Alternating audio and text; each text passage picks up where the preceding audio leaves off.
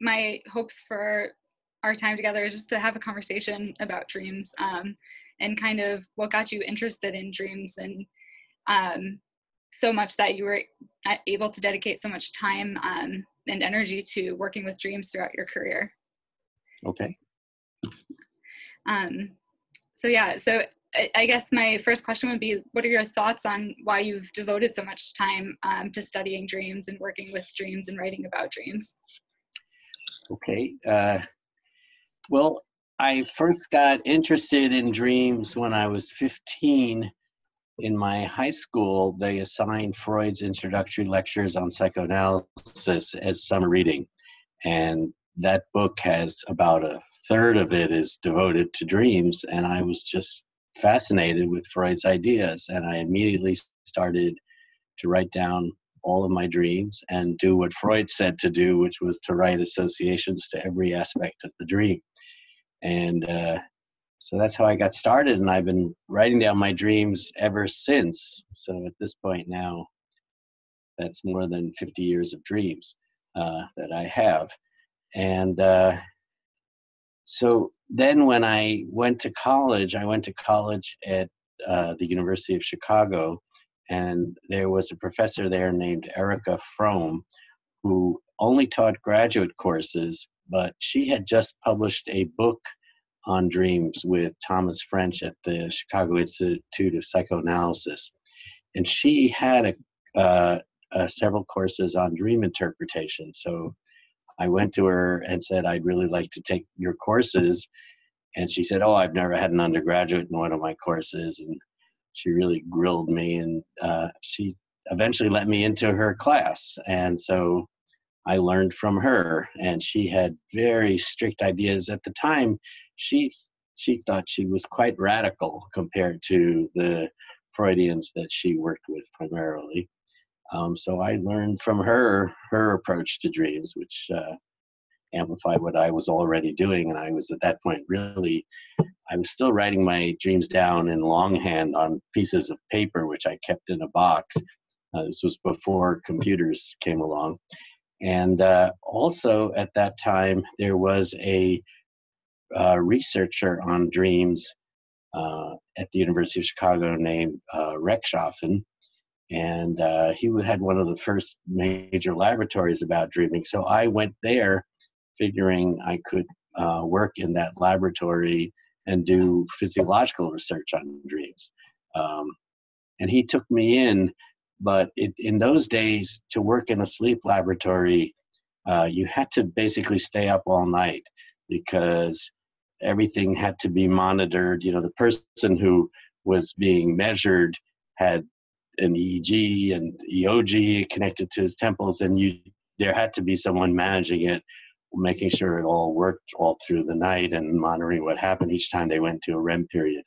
And I'm very bad with jet lag, so I did it for a while, but I I just couldn't take the staying up all night and also doing full time work as an undergraduate.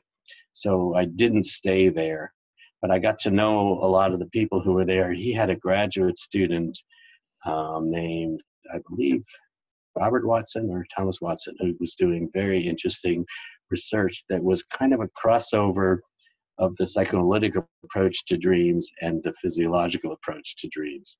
Um, and actually, Erika Fromm was on his dissertation committee. She was very excited about it because Freud had said that uh, we dream in order to safeguard our sleep. And his study basically showed that the opposite was true that we sleep in order to be able to dream, and that the, the uh, costs of not dreaming are much worse than the costs of not sleeping. So, should I just keep going? I mean, I can go through 50 years, or do you want to ask me something more particular? Keep going. so I did that. Um, uh, let's see, where do we go from there? Well, then I uh, I went when I went to graduate school. I went to graduate school at Yale, and there wasn't a whole lot of work being done about dreams there, or at least that I came across. Although I did work with a number of psychoanalysts and got to sort of refine my own ideas about dreams. Um, then I, well, then I did an internship at uh, Columbia at uh, the Psychiatric Institute. And there, um, I started working with patients. I actually had already started working with patients uh, when I was in graduate school, and patients told me dreams. And again, I just sort of did mostly I did what Freud told us to do, and uh, I I realized that very often a patient would tell me a dream, and it told me something about the patient that he or she was just not telling me in any other way.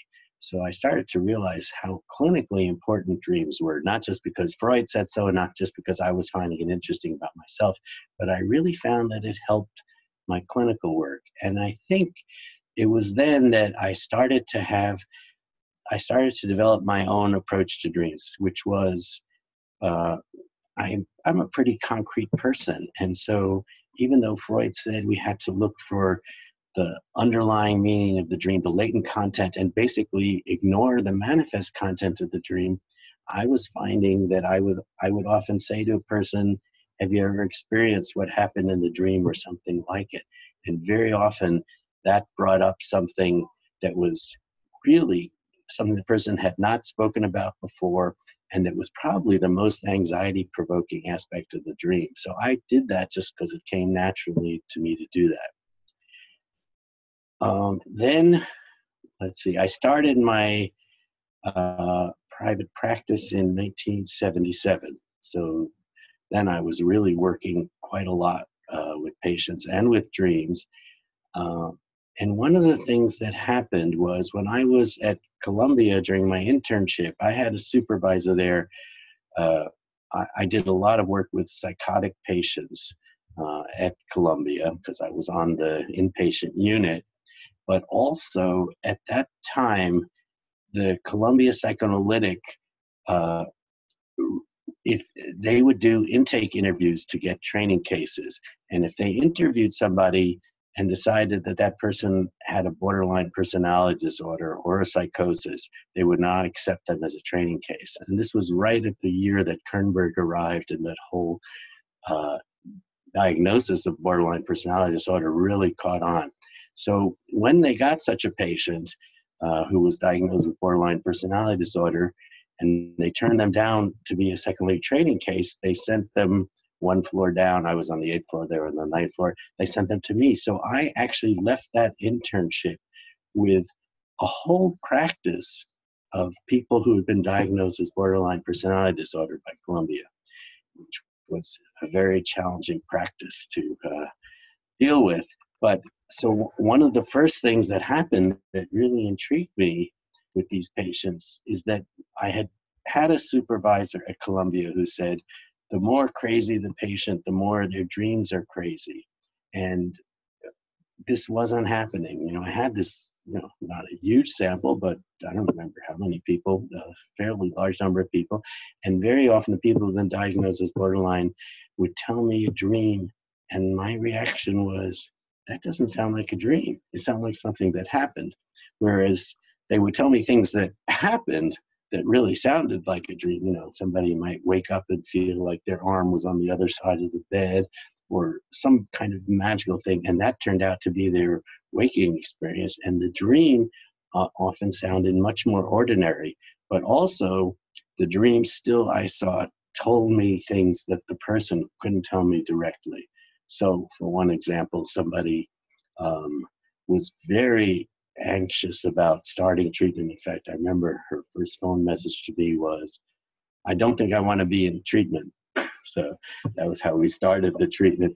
And but she came in, and in the second session, she told me a dream where the message was quite clear that she had felt very comfortable with me in the first session, that she cared a lot that I was writing notes and paying it very careful attention to what she was telling me. So that was a, a really interesting observation. I didn't know what to do with it, and I wasn't really publishing about dreams in those days. But then in 1979, I started psychoanalytic training at the William Alanson White Institute in New York. And there we had a, a course, we had two courses on dream interpretation. One of them was with Lee Kalogor, and one of them was with Paul Lippmann. And in that class, I mentioned just in passing that I had been observing this in, with my borderline patients, and a member of my class said, "Oh, I've never heard that. You should write that up." So in fact, I ended up. That was my very first psychoanalytic paper. It was about. It was. It, it came out in 1983, and it was called "Changes in Dreams." Oh, because it, I, it was called "Changes in Dreams of Borderline Patients" because I noticed that as people got better, a lot of the psychotic material that was happening in their waking life started to get incorporated into their dreams. And so that was actually a very good sign that their dreams, the, the psychotic material was where it should be instead of where it had started out being. So that really got me launched into sort of publishing about dreams and it got me some recognition. Um, I guess I can't remember all the conferences that I might have uh, presented at. Um, okay, so uh, then uh, trying to remember, I, I got very involved with uh, the Association for the Study of Dreaming. I can't even remember now how I found them, but you know, I don't know if you've been to any of their meetings. They have, it's an extraordinary group. They're an international group, and they meet somewhere, and they basically spend the whole conference discussing dreams, every possible school of dream interpretation, and all the biological researchers in dreams. Everybody is there who's interested in dreams. So I went to that. Uh, one of the big important things for me at the Association for Study in Dreams was that there was a one of the meetings was in Hawaii on the north coast of Oahu, uh, and it said that uh, at 7:30 in the morning a woman named Wendy Pannier was going to be leading a dream group. And I had never heard about dream groups. I thought, oh, this sounds interesting. So I went to it. And in fact, there were seven people whom I had never met before. And uh, one of them had just had a dream waking up that morning. So he told this group the dream. And uh, then Wendy Pannier led this dream group uh, the through the Mont, I don't know if you know Montague Ullman's approach to dream groups. I uh, read it in your book. read it in my book. Oh, okay. Oh, so you've got my my in the newest book, The Mind Brain and Dreams. Oh, great. Yes. Well, yeah. I so so within an hour and three quarters, I found that this approach to dreams was the most profound I had ever come across. We had a deeper understanding of that person's dream than I had ever found. So I went up to her at the end of the meeting and she said, Well, you know, Monty Ullman's in Ardsley, and it's a suburb in uh, in Westchester, it's about 20 minutes outside New York. And he runs these marathon training weekends. Why don't you, you know, get in touch with him? So I did. I came back to New York and I went up to Ardsley for one of these marathon weekends. It really was extraordinary. You went there Friday, Saturday, and Sunday and from the minute you got there to the minute you left, you analyzed dreams. So I really got to learn uh, this whole approach very well. And I would say it just changed my way of working with dreams enormously. I would say it's still changing it. Um, is this okay? Should I say yeah. go on? Or? Okay. so, uh, and so I, I did that and I really learned from Monty and I asked him, uh, well, you know, this is so amazing. How come this isn't taught in psychoanalytic training or in clinical psychology programs? It just seems like it's it would be such a valuable thing. And he said, I don't know. I've been trying. You know, he's he was going all around the world. He was very, very well known in Scandinavia, where they loved this approach, but the psychoanalysts were not really getting involved with it. So I can't remember somewhere around this time Oh no, I'm sorry, that's not true. I actually started, I taught my first course about dreams in 1984. Sorry, I'm going backwards a little bit. And that came from that, that article that I published in 1983. I sort of got known as someone who worked with dreams. So I taught my first course in 1984, which, by the way, I have to say, that first time was the most exciting time I've ever taught about dreams because I wasn't yet used to all the limitations that people had about how much they could read. So the reading list was just huge. I mean, we read all of the whole Freud interpretation of dreams, and then we read big swaths of Jung. We read so much, and I don't know if everybody read everything, but a lot of the people in this first class really did read a lot, and you could tell in the class discussion, and it was, it was thrilling. So I was then teaching a class like that all the time, uh, every year. So then, when I learned Monty Ullman's group approach, I thought, well, I'm going to do this in one of my dream classes, and I mentioned it to one of my colleagues, and she said to me, "Oh, they're never going to go along with it. Those psychoanalytic candidates, first of all, they're they don't trust each other. No one's going to tell somebody else their dream in front of us, and they're also so competitive, they just won't go with it.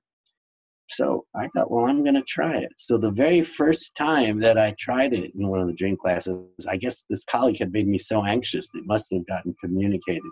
Nobody volunteered. So I said, well, then I'm going to volunteer. So I presented one of my own dreams to the dream class and we worked on it. And then once they discovered how this thing worked and how phenomenal it is, all they wanted to, then they all suddenly wanted to present their own dreams. And the, I realized also that, you know, I, what in my courses that I teach on dreams, each week we discuss half, we spend half the time discussing a reading and we spend half the time discussing a dream. And usually the students bring in a dream of one of their patients, and uh, which is fine. But what happened was once they learned this thing, this way of working with their own dreams, they, they only wanted to bring in their own dreams. So it actually went quite the opposite of what my colleague said. And people just loved it. And I had to move that part of the course later and later so that I wouldn't I would be able to have some time where they were presenting their patient's dreams. And then some people at the end of the class would say, This is really wonderful. Could we keep doing this? So then I started to run private dream groups. And I've been doing that now. I have one group that's been meeting for, know, maybe 14 years, and another one that's been meeting 12 years. And people love it. And it's and I, I have to say I love it too. And I would say that doing that particular kind of work has changed the way I work with dreams, even when I'm working in one on one psychotherapy or psychoanalysis. Because mm-hmm. it's made me, having had so many experiences of presenting my own dreams in particular, first of all, it's made me very, very sensitive to the level of anxiety that can be elicited by doing uh, something a, a, very intense interpretation and if the person feels they have to respond they can just basically leave the room. Uh, so I've learned very much how to use my own associations in a way that doesn't take over the process but helps expand the process. So that's been a, probably a big change that I would say has happened over 25. I've been doing this the dream groups now for 25 years, um, and you know most of the time they are with mental health professionals. But just recently, uh, well, not so recent, three years ago, a woman named Alice Robb called me up. She was working on a book for the general public about dreams. I think it's called Why We Dream. And she came and interviewed me, and I, you know, I talked to her actually very similar things that I've been telling you. But when I mentioned the dream group thing, she said, "Oh, could uh, could I be in one of your dream groups?" And I said, "Well, the dream groups themselves, you can't bring in somebody new because they're all very they get used to each other. They don't let people come and go. I said, but if you can get seven of your friends to come, I'll do it. So she got seven people. All of them were in their 20s, and uh, none of them was in the mental health field. And uh, they came to my office, and I ran a dream group. And they, so that was actually the first time I think I had run a dream group without any mental health professionals, myself being there. And it was interesting because it was different but it was really just as effective. And they liked it so much, they continued to do it on their own for three years. And now she, she just wrote about it in this book, um, her own experience with it. So uh, I've been talking a lot. Okay, so that, I guess that brings us up to the present more or less. Oh, and so then also, though, you know, I was publishing quite a lot about dreams. And I would say one of the pivotal uh, papers that I wrote was in 1995. Um, I, uh, well, this is good. I had written a paper in 1992 called Working in the Countertransference. And that also came out of all this experience of having a practice that was mostly borderline patients. And I found that some patients, when they uh, uh, when they got very anxious, they didn't want to talk about themselves anymore. They would take the conversation and turn it into observations about me. And rather than fight it and see it as resistance, I started to realize okay, we can talk about me. It's, you know, maybe that way they can talk about issues that are actually partly about them. They may also be true about me or not, but we can make some headway without their being too anxious. And after a while, talking about my psychodynamics, after they, if they might eventually say, you know, what we're talking about actually is really about me too. And so we often got very stuck treatments unstuck. Mm-hmm. So I, I wrote a paper about that. It got a, I, I presented a lot of places. And then I started to apply it to dreams because I realized that you know, people always thought the dream is mainly about the dreamer, which I do think it is mainly about the dreamer. But when people tell dreams in psychotherapy and in psychoanalysis, you very often the therapist or the analyst uh, can get insights from the patient's dreams about his or her own countertransference. And I was discovering that myself. Uh, a number of cases, I have a lot of cases in that paper and that was the most popular paper I've ever written. I presented in Budapest, I presented in, I don't know, all around the world and all around the country. And uh, people thought of it as radical. I, at the time, it just, you know, most of the things that I've written about dreams, they just sort of came to me and they became sort of part of what I did. But that paper in particular was considered radical and it became the basis for the way people who considered themselves relational psychoanalysts started to work with dreams. I got a little upset about it because it went from my saying in the paper that this was one thing you could do with dreams. People start, I start to hear that people were teaching it not just as something you could do, it's something you must do. And then it's hard to hear that they're saying that's the only thing you should do with dreams, which is never, never was my intention. So I guess in the latest book, I've sort of recanted something I never said, but just because it's sort of taken off that way. Um, but I presented that paper, I don't know how many times, but almost every single time that I presented it, uh, the first question was, well, what do you think about the analyst's dreams in which the patient appears? And what do you think about telling the, your dream to the patient? And my answer was, I had never done it. I had no knowledge about it. But I don't know, something about that paper elicited that question. And it happened so many times that I figured, well, I guess I better do it. How else am I going to be able to find out? So I did. I started it. I did it once. The very first time I did it, I did it with a patient who the treatment was really stuck. I sort of was at wit's end about what was going on. So uh, I told him the dream, and he was so interested in it. And then he replied the next session. He came in with a dream that kind of replied to my dream, and we there was this dialogue that went on about it, and it really freed up the treatment and brought out some things that had never been talked about. So I did that. I probably I, I don't know if I how many times I've done it in my whole career, but probably not more than ten. But then I in then I oh so then I wrote a book in 2001 called The Dream Frontier, and uh, there was chapter 18 in that book was about that particular thing of telling a patient a dream, and that's been something else that I've developed. I still would say I'm very careful about it. Um, I I don't do it regularly. Actually, I don't know how many times I have dreams where patients appear in the manifest content of the dream. Um, but I do it so That's so great. it's like it kind of remind it. Sounds like a conversation between mind brains almost. Yes, absolutely. Oh, I'm so glad you read the Mind Brain book. Oh, that's that is a whole other part I haven't I didn't mention. Can I go on a little bit more? So, 20. It's about now. I guess it's 28 years ago.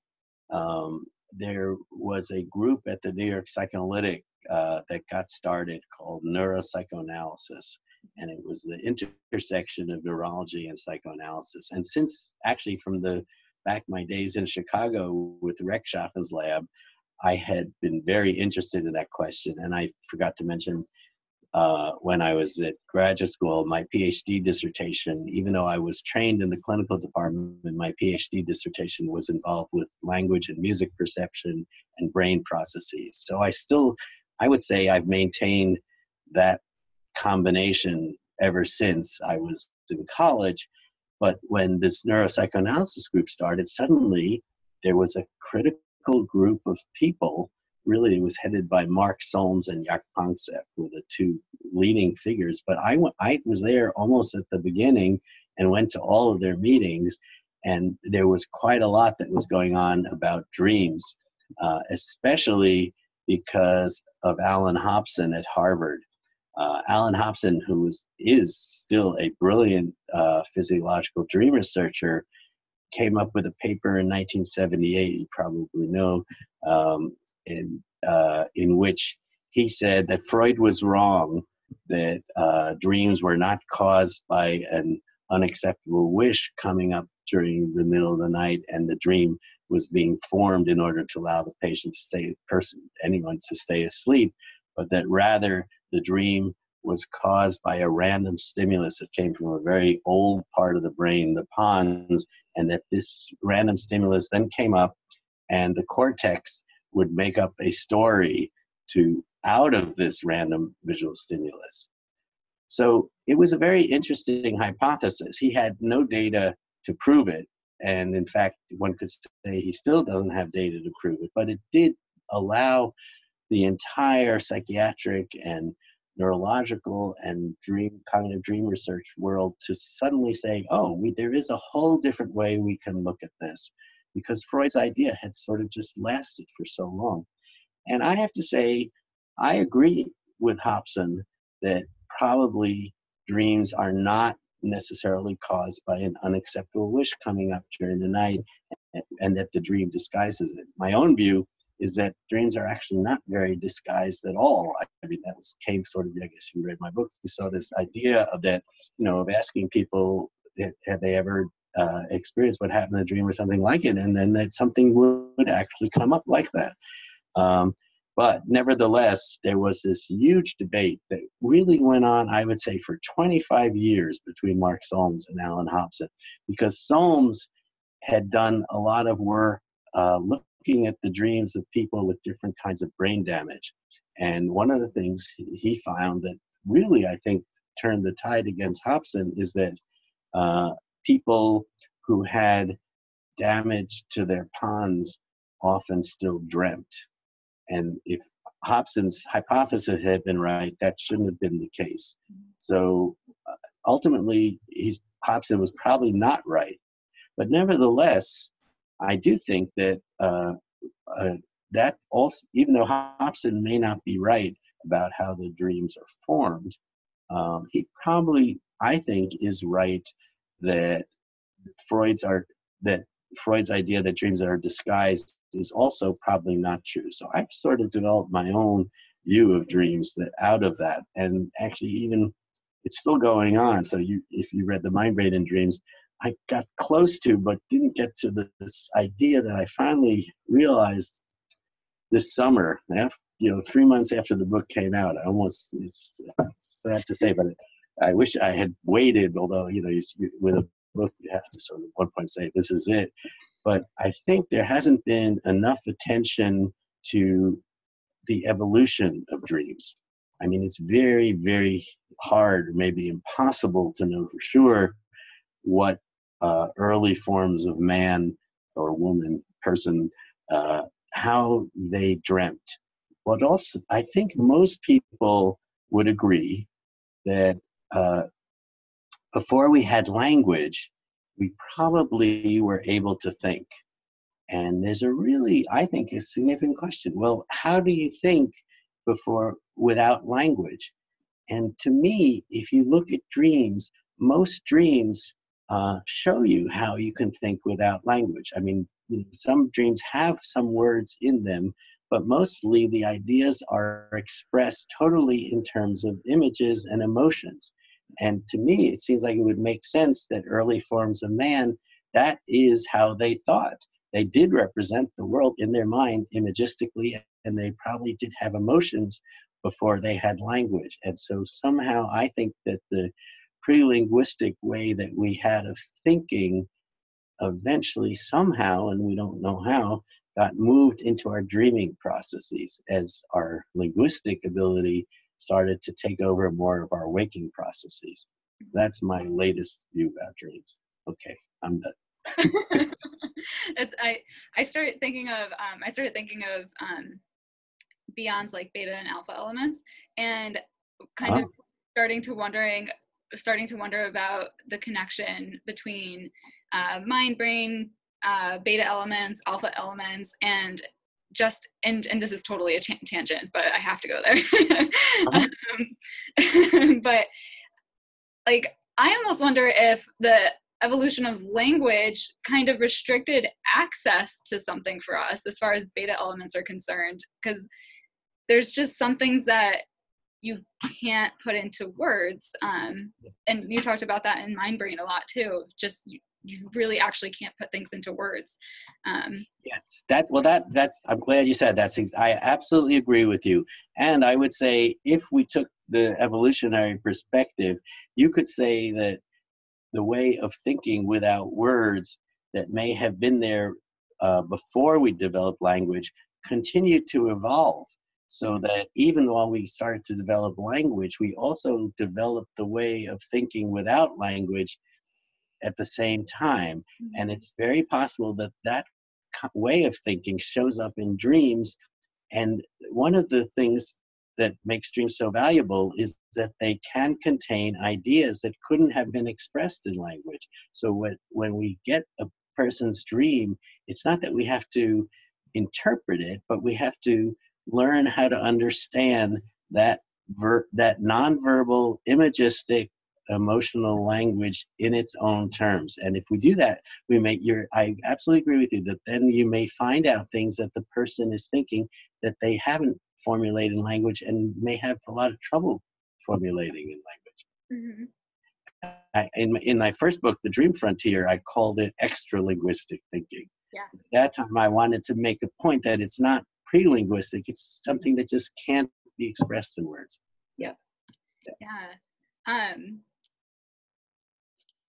yeah and also I, it also brings up thoughts of like the of Bollas's like the unthought known and just um, i'm also thinking of like amygdala activation versus hippocampal activation and how memory is stored in those different ways um, it, there's just so much to it right that that that's true I, I i think i agree with you that the whole Bion approach to different ways of thinking is very important, but I, I'm, I am a little concerned at this point because what some of the Italian psychoanalysts are now doing with Bion's theory is saying that there really is no difference between uh, working with a dream and working with what somebody says in their waking life in a session. And I think that actually misses the whole idea that there are some things that that can't be expressed or are not being expressed in their waking sessions um, and that will come through in a dream. Because otherwise if you take that stance and this has happened people will say well then it doesn't matter whether you ever hear a dream from the night.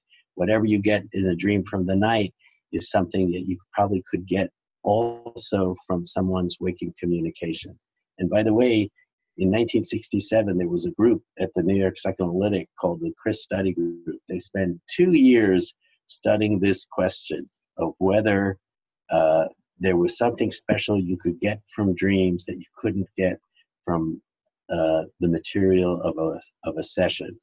And um, unfortunately, at the end of two years, they published a monograph in uh, from that study group that came to the conclusion that in fact, there was nothing special you could get from dreams. And they say Freud, when he wrote the interpretation of dreams, didn't know about free association. He hadn't discovered it yet. But we know about it. And so we don't need dreams anymore. And believe it or not, it's terrible, but I think it destroyed psychoanalysts, most psychoanalysts stopped paying much attention to dreams. So in a way, you know, I don't, I, I was trained at the William Alanson White Institute, but we pay more attention to dreams than most of the classical Freudians. They really, it was a terrible mistake, I think. Mm-hmm. Uh, yeah, it seems like it's missing out. I, am a student. I have no room to talk about this, but it just it seems like it's missing out on something really, really important. Um, I I think so. I mean, I just think I don't think I, I would say there are some some psychoanalyses that I do where person never tells me a dream. I mm-hmm. can I can work without dreams, but if if somebody tells me a dream, it often brings up things, and so I think it's also it sometimes brings up things that we end up working on through the whole analysis, uh, and which things that might not have come up any other way.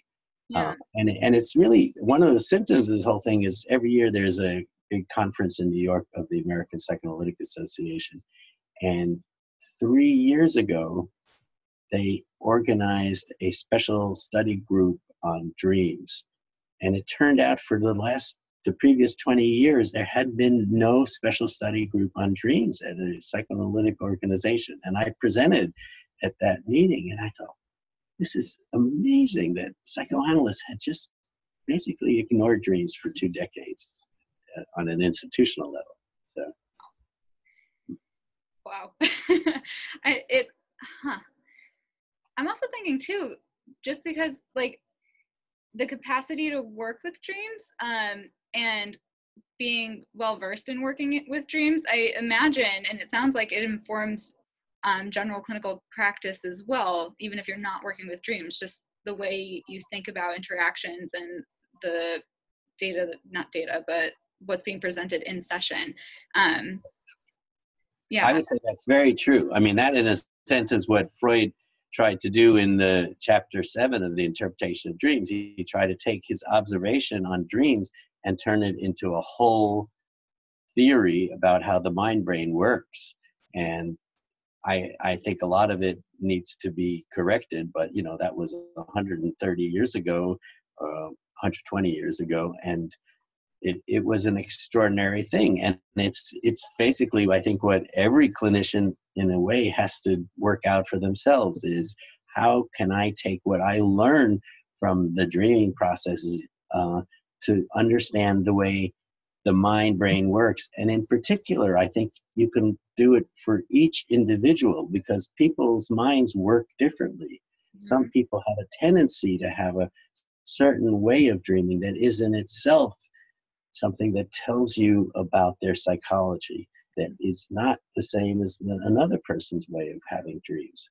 I mean, in a certain sense, I guess that was my first paper about border dreams in borderline patients was one example of that. But at this point now, I would say it goes on not just through diagnostic categories, but really even people's personalities or their defenses show up in dreams. And actually, I guess in the My Main Dreams, I had a whole chapter about defenses in dreams, which that's another thing where, you know, um, blocking on her name. Um, uh, Mariana Goldberger at the New York Psychoanalytic wrote a paper in 1988 about defenses and dreams. It was a wonderful paper, but it was just about one or two defenses. And as far as I can tell, looking through the literature, since 1988 until the Mind, Brain, and Dreams came out, which is uh, 30 years, people haven't really looked at that question any further. Mm-hmm. So it, it, that tells you something about the field because I think it's important. You get to see each person has a particular set of defenses that they use, and it, you can find out what that set of defenses is by looking at their dreams. It's like it's almost, or at least I'm taking it as um, being able to sit with someone else's dream um, and really talk it through with them or, or, not even you don't even have to talk it through you can just hold it and experience it with them. It feels like kind of the ultimate form of recognition like jessica benjamin's like recognition. Um mm-hmm.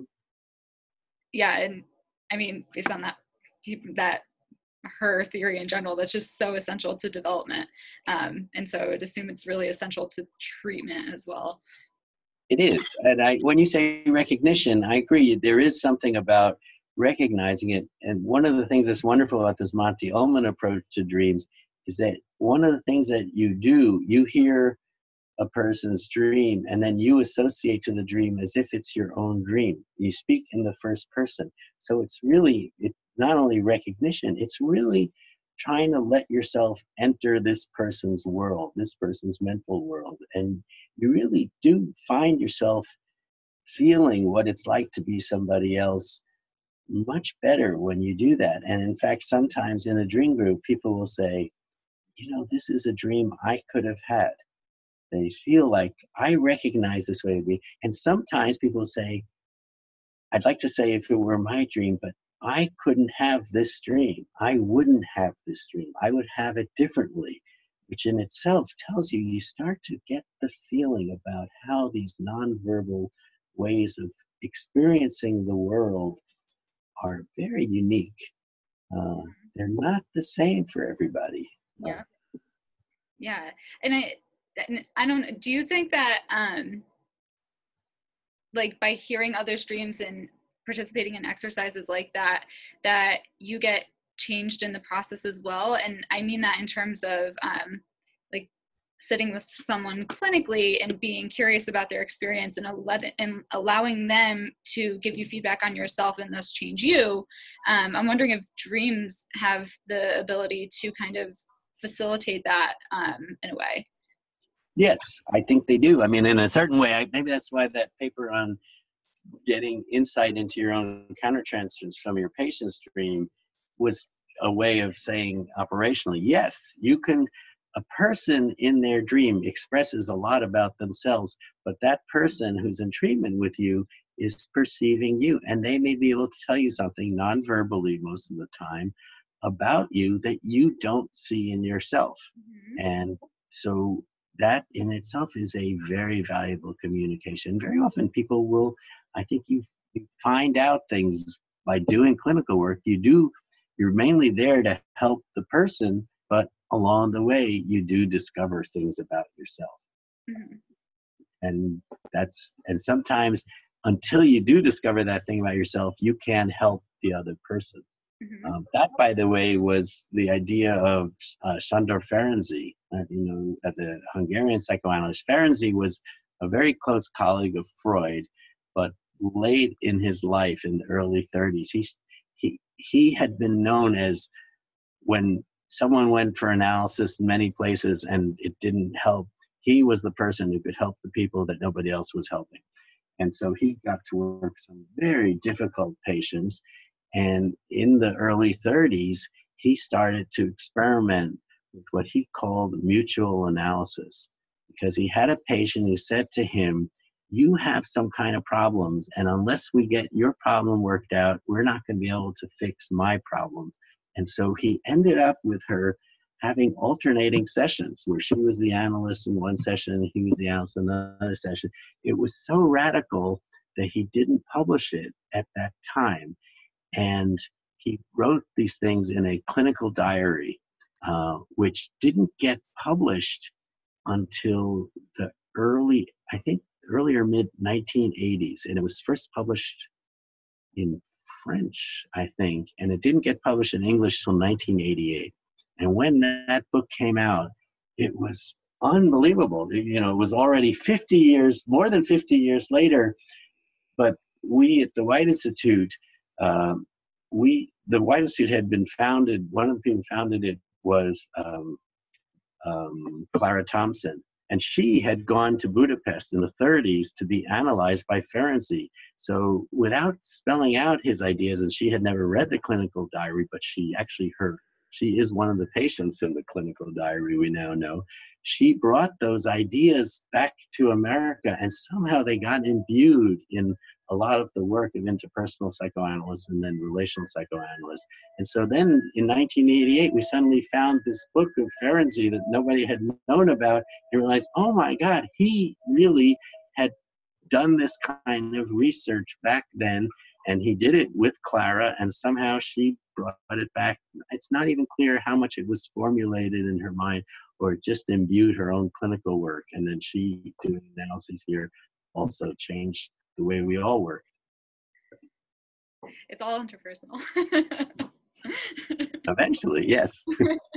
and you know, actually, that's another thing. You know, Jung, by the way, I I mean, I I think Jung is just you can't really work with dreams unless you really understand Jung's ideas. And Jung, because of his feud with Freud, or there may be other reasons, just a lot of the traditional psychoanalysts just excluded him. And so, really, the people at the Jungian institutes study Jung, but people in regular traditional psychoanalysis tend not to.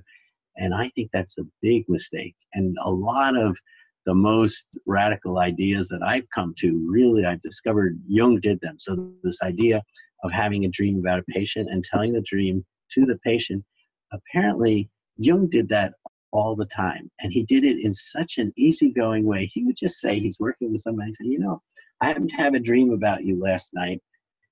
Do you want to hear it? And, you know, most of the time people would say yes.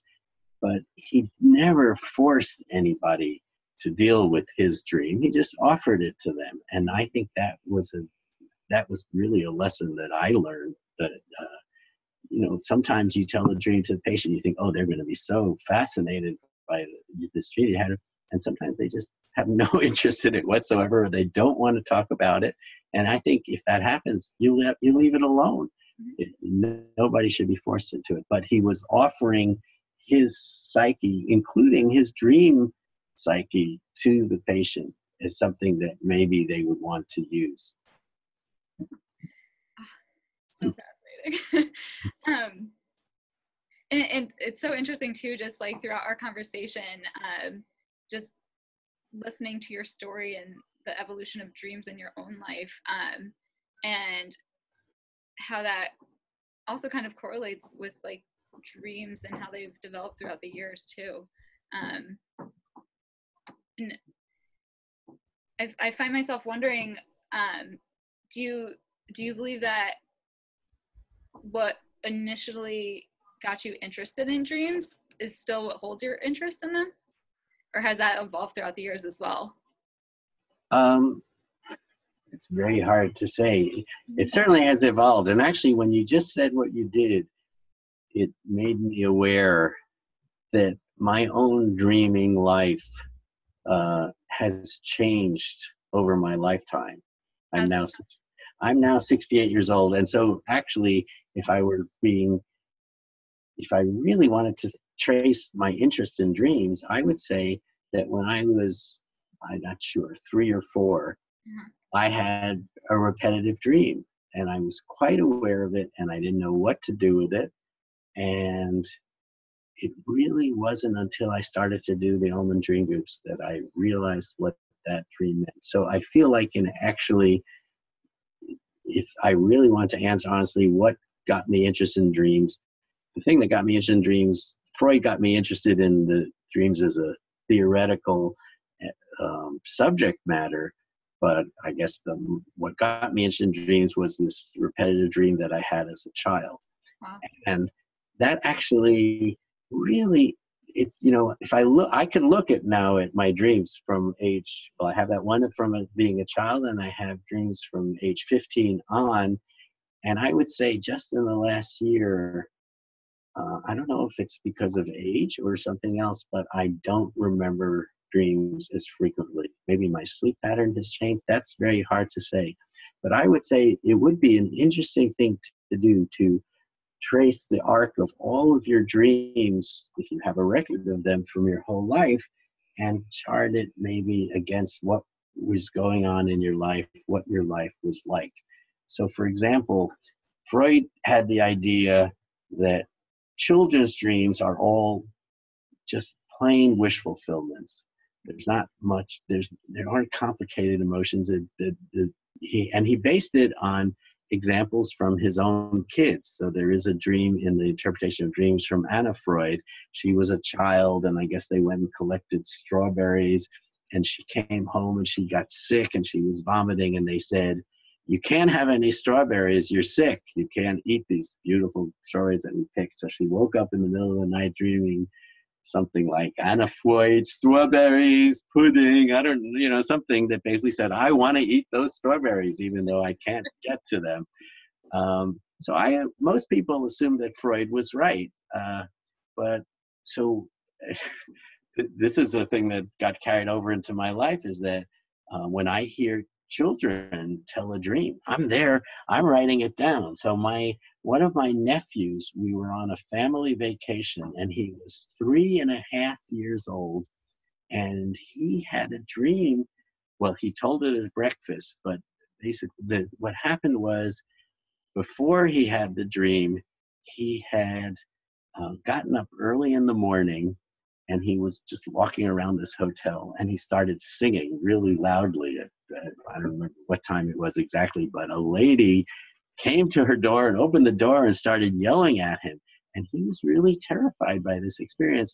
And that night he had a dream in which a giant bumblebee was coming at him and, and you know threatening to attack him which i thought was a it was clear from what happened, but it was not a wish fulfillment. It was actually a dream that both expressed anxiety and I thought for a three and a half year old, it was a very amazing symbol to symbolize this woman as a giant bumblebee. I mean, in a certain sense, I'm not sure because my nephew's grandmother, who was my mother, often referred to people who were arrogant as, oh, she thinks she's the queen bee. I'm not sure if he ever heard that, but I thought it when I heard his dream. But I wrote that dream down with the date because I thought, you know, you never remember exactly when a dream was, and you'll never remember the text of a dream. That's really one of the reasons it's important to write down dreams verbatim when you hear them. Mm-hmm. Um, so I have that written record, and I can say, at least for my nephew at age three and a half, Freud's theory did not apply, and he was actually able to do some very complicated symbolization in his dream.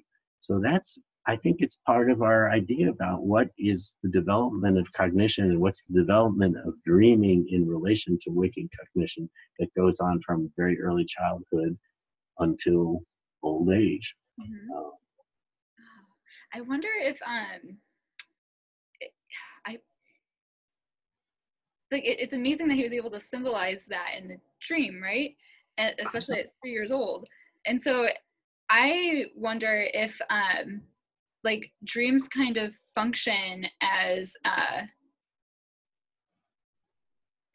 not only as play because that was anxiety coming out in the dream but um, it's kind of like a, a practice of symbolizing uh, and why why I'm connecting that to play is because there's a lot of symbolization in play. Um, and I wonder if what gets us so fascinated with dreams from like early on, because if I were to relate to my own experience, I would also say like, yeah, it was my dreams from when I was a kid that really got me interested in them. Um, but I wonder if it's like our desire to kind of keep that connection to play in a way. It could be. and I mean, you could say that that's that's one of those things. It's very hard to say which thing comes first. You could say uh, it is we want to keep our connection to play, but play is actually a nonverbal way of thinking. We can mm-hmm. act out things that we think and feel through play without ever putting them into words. So whether that particular way of thinking leads to that kind of dream or whether our dreams take us back into that way of thinking I, I wouldn't know, but I absolutely agree with you that they are very closely related because very complex things can be represented without any words. There was no words in my nephew's dream. You know, she was a bee. Bees don't talk. They mm-hmm. just fly around and buzz. And I, you know, you could say that's how, his way of representing that. And I should just mention what's really fascinating to me is that I published that dream in the Mind, Brain, and Dreams, and I of course, I had to ask my nephew for permission to publish it. And he said, sure. He said, but you know, I remember the incident with the woman at that resort. And I remember I was very upset about it even after we came back to New York. But he said he didn't remember the dream at all. And that even reading it, he didn't remember having it. So that's really a reason that you want to write down those dreams I mean, he couldn't write it down when he was three and a half, but I could. Why but it says. I'm sorry. Oh no, no, sorry. Go ahead. it just says something also about the amnesia for dreams that you can remember the whole complex of things that went around it, but the actual dream experience might get lost. Mm-hmm.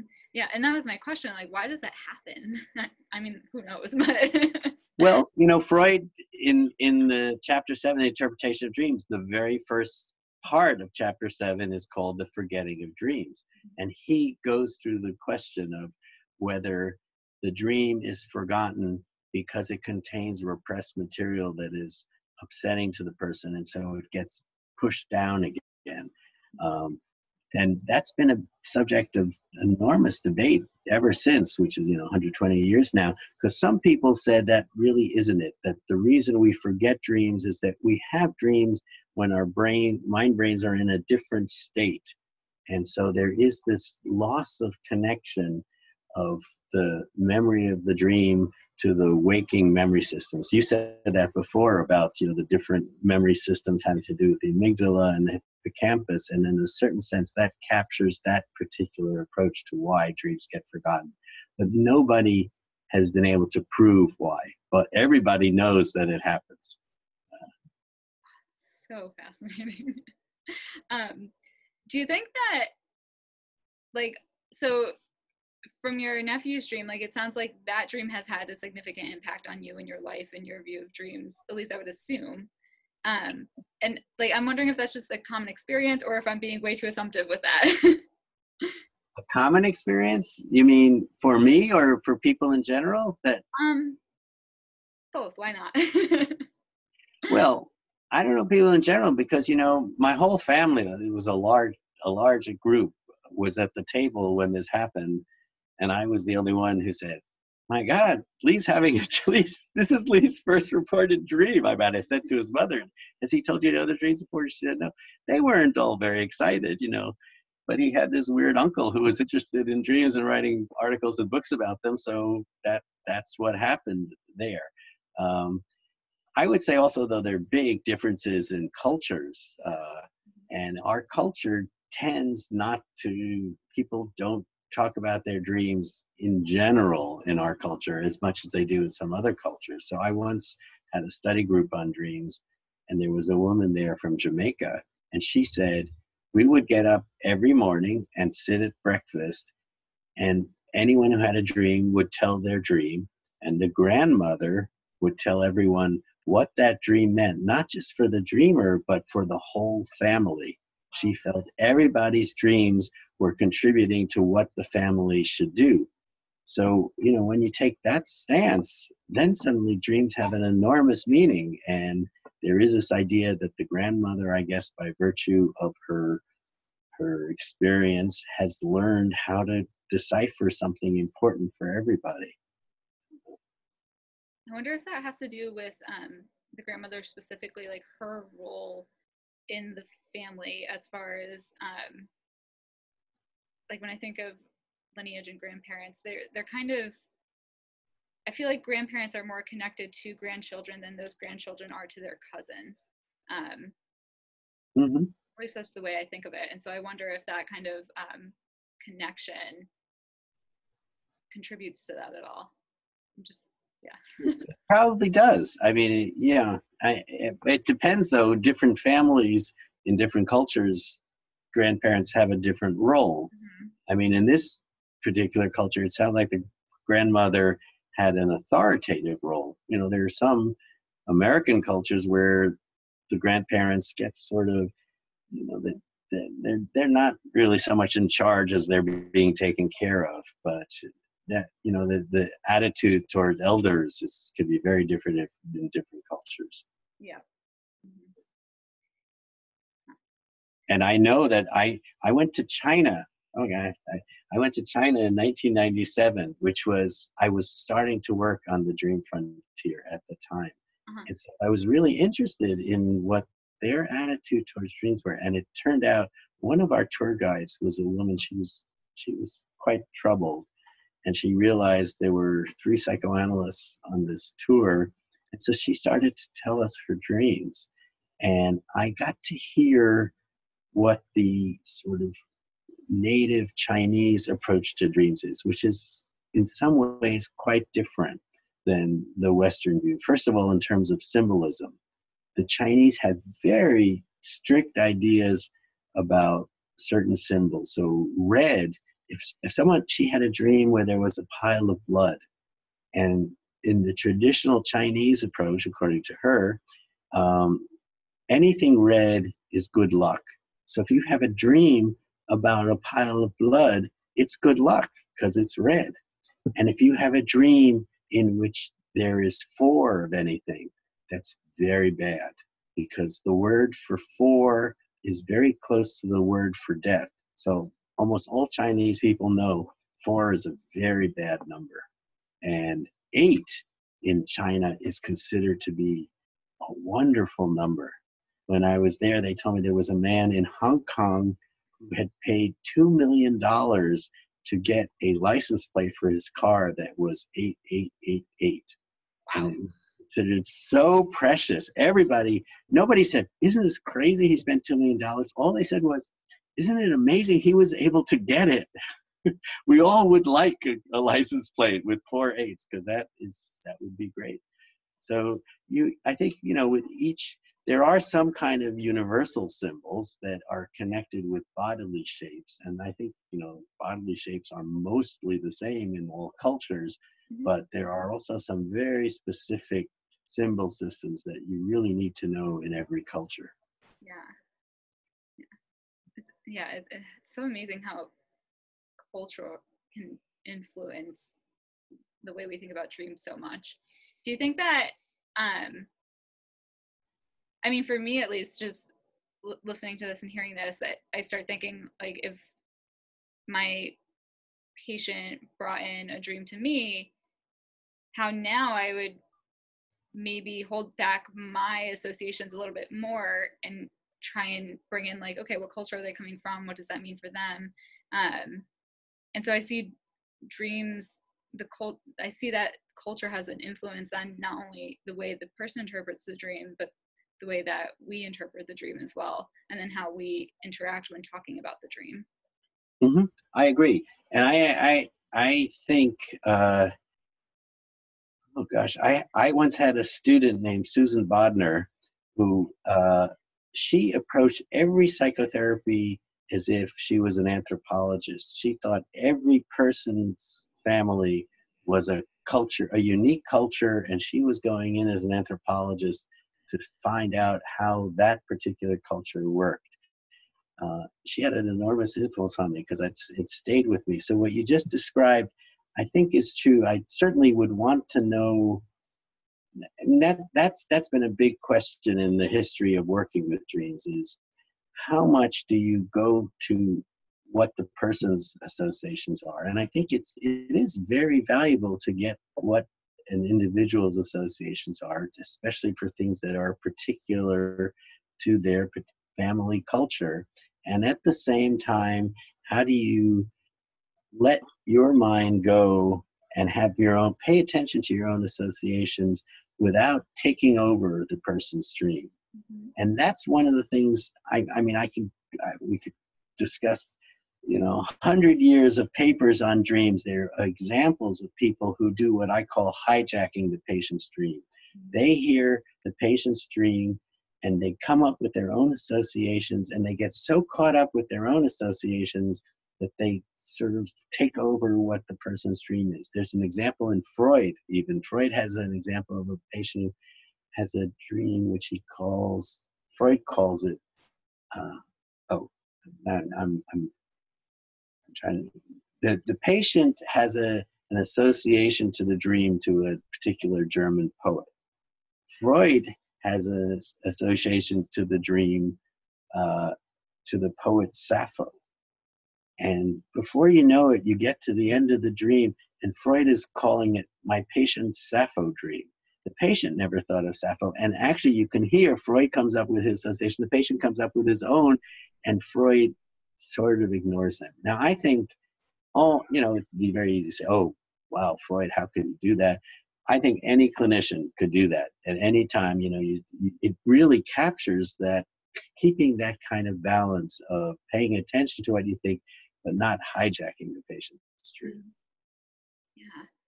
And I wonder if, uh, so I'm, I'm thinking of intersubjectivity now and um, like the space of the analytic third. And I wonder if, well, I mean, I would assume, yeah, that with sitting with different analysts, the different meanings kind of come out of the dream. Um, because I'm kind of viewing the dream now as uh, as a this manifestation of, of this third. Um, because the same associations wouldn't happen if you were sitting with a different person. Well, yes, that's true. I actually I have a I have a little data on this. It's not formal data, but because I have, you know, in my dream groups, a lot of the people either have been or are currently in individual analyses. So I have had people who have said, I brought this dream into my analysis, and this is what they usually don't tell us what the, they came up with their analysis first. They just bring us the dream, and we, as a group of seven or eight people, work on the dream. And I would say almost always they say, "Wow, you know, I and my analyst, one other person who knows me very well, still all we came up with was with this much meaning." And now I feel like I know this much more meaning and then they might say, what is it about my personality and my analyst personality that we only saw this part and not these other parts? And sometimes they actually go back to their individual treatment and say, I discussed the stream with a group and we came up with these other meanings. And some of the meanings have to do with my relationship with you. What do you think? And it becomes a kind of interaction between the group approach and the individual treatment yeah. I probably should do that, collect that systematically. It would be it, it would be a, an interesting study to do. I would read it. I'd like you to write it. I like. I really need graduate students. I have all these ideas, but I I don't have the thing to set up to, to get them done. I'm there. Like I said, I have in Connecticut, New Haven, two hour train ride there. um, yeah and, and so i guess too I, i'm wondering because there's so much we don't know about dreams um, and that's always like on the outskirts of all the different things we've been talking about. Um, what do you think stands out the most to you about like what puzzles you the most about dreams? What puzzles me the most about dreams? That's an excellent question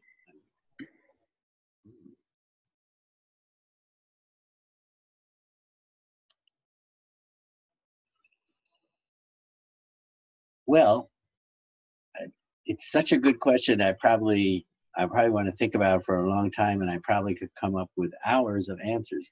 one big one big question I have is: we know that everybody dreams at least five or six times a night. Uh, that's at least REM dreams, and you know the, the non-REM dreams. So, and most people don't remember most of those dreams. So, a big question for me is what happens with those dreams that we don't remember? How is there a function that those dreams have for our daily lives without our being aware ever consciously of the dream? And that we, I think, if there are a number of approaches we could take to studying that. One of them is I actually find that sometimes when I'm working with someone clinically in a treatment and we're just talking about something, they suddenly, from what we're talking about, say, Oh, I just remembered a dream I had. They had no conscious awareness of that dream until that moment. So clearly, something about what we were discussing is an ongoing concern somewhere for them, probably mostly unconsciously, somehow we tapped into that theme and it just brought the dream into awareness. And maybe you know i don't know if we could say that that person might never have remembered that dream uh, otherwise. Mm-hmm. so that i would say is that if we could answer that. And i would say that you know we used to think we're never going to be able to really study dreams as they're happening. Um, in my first book, I said there is no study. The closest we have is there's a science fiction movie at that time called Brainstorm, where they connect this old style computer into someone's head and you could actually see on the screen the dream that they were dreaming. And I thought, well, that's great. It wouldn't be great if we could do it. But now there is a group of Japanese researchers who actually have been able to figure out from people's brain waves what content they are thinking about. They first did it with waking thought. They could tell the actual objects that someone was thinking about. And now they published a study of doing that with someone's dreams while they're dreaming. So I think, you know, probably, certainly in your lifetime, we're going to be able to actually know what somebody's dreaming in the moment that they're dreaming it, which I think will change our whole understanding of dreams because we'll be able to do incredible kinds of research. Do you think there's, this kind of just came to me, but do you think there's intentionality in our mind brains to keep the like dreams and their mechanisms and ways of working and their meanings so ambiguous to our like conscious self wow that's that is one that actually is another really big question that is it how much is it motivated and how much is it just there are different parts of the mind brain operating and they just operate separately and they may they may not be a reason for keeping them separate, but they just have evolved separately. And so we have different parts coming up with different ways of representing ideas. And I would say I don't know that we have enough data to say anything in a general way. I hmm. can say, I mean, I see it in my clinical practice, some things like that happen. So, for example, I think it's in the book of Mind Brain Dreams, I'm not sure. I once had a patient who had a dream and I don't know, three months after she told me the dream. By the way, first of all, I write down, not only do I write down all my patients' dreams, but I then transcribe them into my computer. So I really, somehow, the process of transcribing into a computer, I often get insights, but I also then have a real record of everybody's dreams. So I think three months after she had the dream, I made a reference to this dream that she had, and it ended up she was swimming out to sea to save somebody, and then when she got there, she took a potter piece of pottery and smashed the person over the head and killed them instead of saving him. So I said something about that. She said, "I never had that dream. You must be mixing me up with somebody else." Which, by the way, you know, when you get older, you start to really get scared when somebody says that. It hasn't happened yet. Unfortunately, I can look them up I haven't mixed up anybody's you. So I said, well, no, don't you remember the dream started? She remembered the beginning of the dream. She remembered the middle of the dream, but she she did not remember that it ended with her killing the person. And she she had actually written the dream down herself. So she went back to her and said, there it was. So there was an example of total repression of just one part of the dream.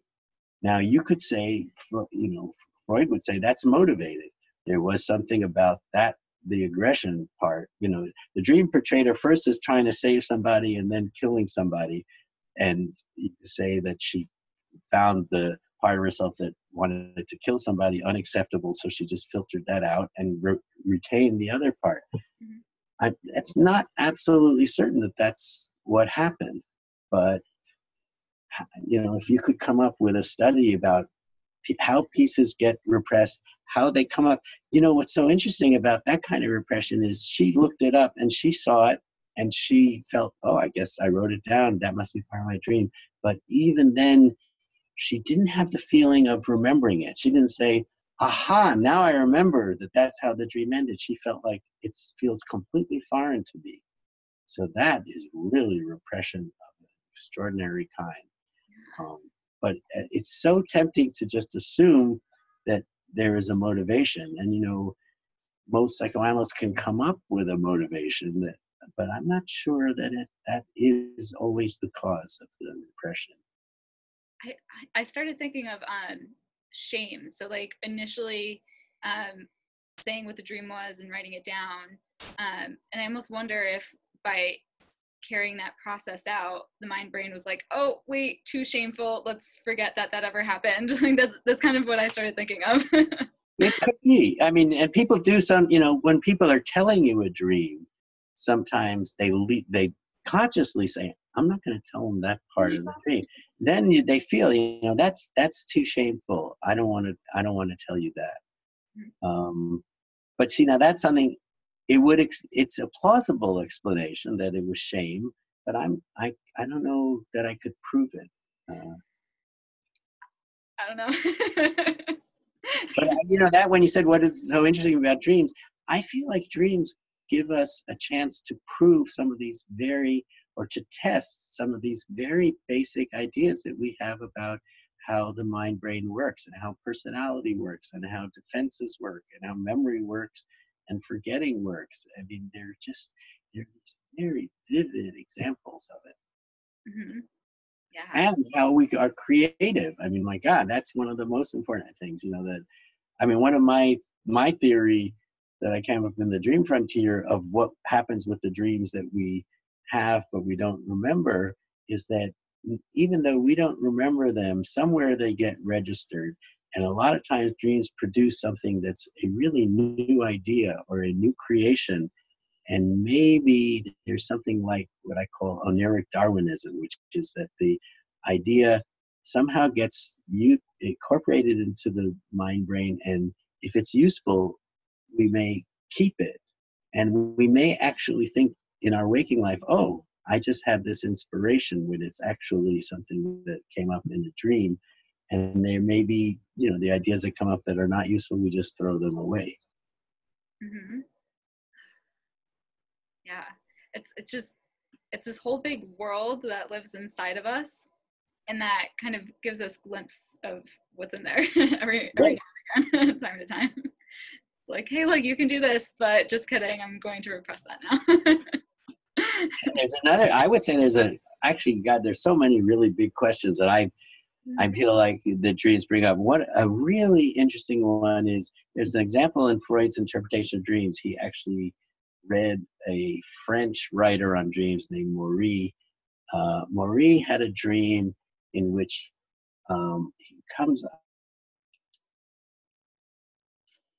I forget exactly. I think he gets on trial. They sentence him to death. There's a long march over hills and through a very complicated landscape to the guillotine. And then he puts his head on the guillotine and they pull the cord or whatever. And he wakes up. And when he wakes up, uh, he the the headboard of his bed fell on his head. So Maury says, I think the instigation for this dream was his headboard falling on my head felt like I was having my head chopped off in a guillotine. But how did I have this long pream- preamble to going to the guillotine if I got if I got this dream was brought up by this thing falling on my head. So his the that is one of the ways Freud came up with the idea of unconscious fantasies is that his idea was that actually the dream didn't occur in real time, but maybe the thing fell on my head, and then I had this whole long drama as a kind of stored unconscious fantasy. And when I woke up from the dream and remembered the dream, I wasn't actually remembering a dream that had gone on for minutes, but was just already there stored up. And I feel like now that we have computers, there's a kind of computer analog of this. You know, you have a YouTube podcast. You could say we have certain kinds of YouTube videos stored up in our mind brain, and that when the dream happens, sometimes, not always, because we do know that a lot of dreams are dreamt in real time, but maybe sometimes the dream will be like a momentary experience of an entire video that we have stored as an unconscious fantasy in our mind. I wonder how much those videos are um, kind of representations of, well, I mean, they are different representations of life, and that's part of dream interpretation, um, as representations of those movies, those internal movies. Yeah, well, you could say, I mean, you could say some of them are some version of memory, that they are transformed memories. You know, all of, we there is that. Def, I think it's pretty well established at this point that memory is not a big box that holds things as permanent films, but they're constantly being retranscribed. And you could say that some of these dreams are showing the retranscription of early memories. Um, that happens. That's actually another area of dreams that really is fascinating to me is people who have been traumatized very early in their life and sometimes do not have actual memory of the trauma although people in their families know what happened to them so they and and sometimes things come up in dreams that show that somewhere that traumatic experience got registered. So there's a wonderful example of that. There's a man named Niederland who had a patient who had a dream trying i don't know in the dream he was freezing I, I, he was shivering. I don't remember the whole dream, but there was something about he was lying in a crib and he was shivering. And so he told the dream to his analyst, and his analyst said, Well, uh, did that ever happen to you? And he went, the patient went and told his parents that he had had this dream. And they were horrified because they said when he was very young, I don't know, maybe six months, some, I don't remember exactly when he was very young. There was one time by mistake in the middle of winter, they had left the window open, and the room that this child was in got extremely cold, and he got sick, and they never told him about it, and he recovered. But they remembered that it happened, and somehow, even though he had no direct memory of the experience, it showed up literally in the dream. Wow. I wonder if that's part of what fascinates us about dreams too, is um, holding on to memories that we can't consciously hold. Yes, I, I think so. And that sense of sort of knowing, not really knowing, but you have a sense, wow, if I'm having that dream, something about the whole feeling of that dream feels close to me enough that it fascinates me, but I can't really access the thing itself. Mm-hmm yeah. It's i wonder if some people are are more likely than others to um be in touch with that sense like the sense of okay there's something i don't know what it is i don't have words for it i have this experience of it.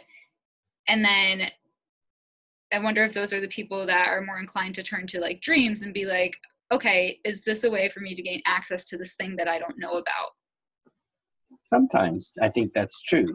Sometimes, I mean, I may, when I'm working with people, sometimes they come to that themselves, and sometimes I may make a connection.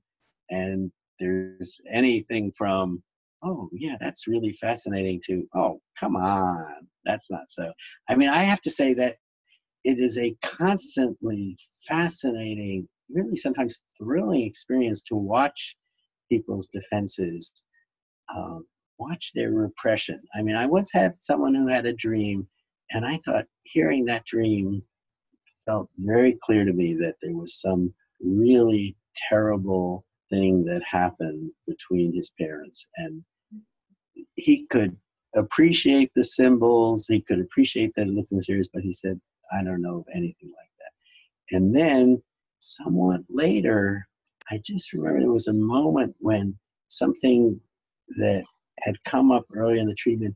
This person completely forgot about it. And when I brought it up, he not he said to me, I have no memory of that whatsoever. And I just want you to know that if I didn't feel like I knew you better, I would think that right now you're making this up and you're trying to convince me of something that it never happened. That's how much I feel like this is not part of me. Wow. So you know, they're they're just when you see that, you go, whoa, those ego, those defenses are really phenomenal. Sometimes you don't always see it that strongly, but when you see it, you go, what's going on? And how did we evolve to be able to do that? To really get rid of? I mean, I think Freud you know, came up.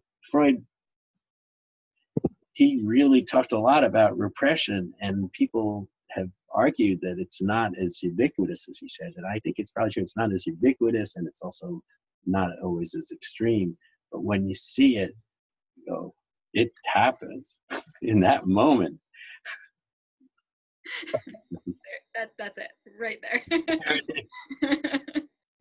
uh, I mean, even in the language too, it's just, it's just in hearing like, wasn't me, like it's me versus not me language, even in the description of the dream or the uh-huh. description of the experience.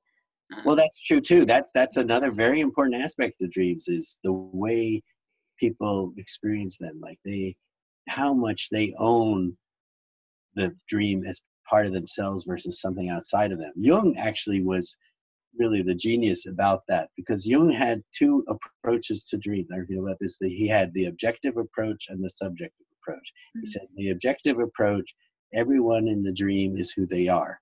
So your mother, your father, your wife, your husband, your friend, whatever they are, who they are. But in the subjective approach to the dream, everyone in the dream is an aspect of the dreamer. So he felt that, you know, if it's your mother in the dream, it's also part of you. So, and the Jungians feel that the most difficult thing about working with dreams is to to own all the different aspects, all the characters in the dream as parts of yourself. So if you have a dream where someone's chasing after you with a machete mm-hmm. and you know trying to kill you or something like that, the Jungians would say there's some part of you that's a killer. And you know, people say, "Oh, what do you mean? I'm the victim. I'm the person running away. I was trying to get away from that awful person." And it's really hard to say, "Oh, how is that part of me too?" Mm-hmm. Yeah, and that's when you blame the mind brain. You say, "No, the mind." that's right. People mm-hmm. do it. well, we would have we have that what that expression we say, "My mind's playing tricks on me." Yeah, it's, exactly. it's, just a weird thing to who, who who's whose mind? What are you talking about? and who's the me that it's playing tricks on? Uh, I mean, in a certain sense, you could say that about every dream. In the dream, there's a part of us that's watching the dream or experiencing the dream, and then you know there's a part of us that's making the dream, and we don't usually pull those together. Mm-hmm. Yeah. And what would happen or and what does happen when we do pull those together well that's that's the big question you know some people say well you become very anxious i mean you know if you, if you represented somebody what running after another person with a machete mm-hmm. start to think oh my god that's me you could feel anxious i guess you could feel shame feel guilt mm-hmm. all kinds of things yeah or you just go into psychology right career out of it. That's true. That's probably that's probably true. You know, I had that early repetitive dream, and here I am. it becomes my whole life. my uh, my very first psychology class in undergrad, my um, professor said to us, "Let's just admit it right now, right this second. The reason why we're all here is because we're all messed up, and we want to know why." And I was sitting there like, "Yeah, I guess I got to own that." but even then it becomes you know that's when you ask about my lifespan it evolves though you could say maybe that is the original motivation but after a while it starts to develop all this kind of intellectual fascination and mm-hmm. then also you start to feel like whoa it's not just about me i'm suddenly i have the privilege of entering other people's lives and really you could still say maybe it helps me understand myself but it really does help other people uh-huh. amazingly wonderful feeling when you can do that. Mm-hmm. Yeah, and I think I, I mean for me at least, and that, maybe this is your experience too, but that's part of why I've become increasingly interested in dreams is just the way it allows for connection to develop between two people. Uh huh. It's it's so interesting you say that because you know Freud said originally in the interpretation of dreams he said dreams are not meant to communicate. Uh, mm-hmm. And then Ferenczi came along and said, well, maybe maybe they are. uh, although it's interesting in the clinical diary, even when he has uh, he's doing mutual analysis, there are no examples of him having a dream about his patient and his dream it's, and him telling the dream to the patient. You know, when I started working on that, I thought, oh, I bet it's in the clinical diary of Ferenczi, but it's not. Uh, maybe I don't. I wouldn't swear he never did it, but maybe maybe he didn't, or maybe he thought even that's even too radical for me to put down in my private diary. I don't know. I'm gonna have to go. I'm realizing I'm getting close to time now. So this has been wonderful. I'm very, I really appreciate you. Yes, thank you so so much for taking the time out to talk with me and for dealing with Adobe and the consent form and all that good stuff. So when is your dissertation going to be done? Would you say? My goal is to, so I'm in my third year right now, um, and my goal is to have it done before internship applications. So I plan on really writing everything up and getting things together over the summer. Um, so hopefully, Great. can I get a copy when you have it done? Yeah, of course. to read it. Yeah, and I can send you a copy of the video and recording and. Yeah. All right, that'd be great. I appreciate that too. Yes, of course. Um, and if you have any more questions, feel free to email me. I mean, if there's something to follow up on, I'll be glad to do it. Okay. Yeah, absolutely. Thank you so, so much.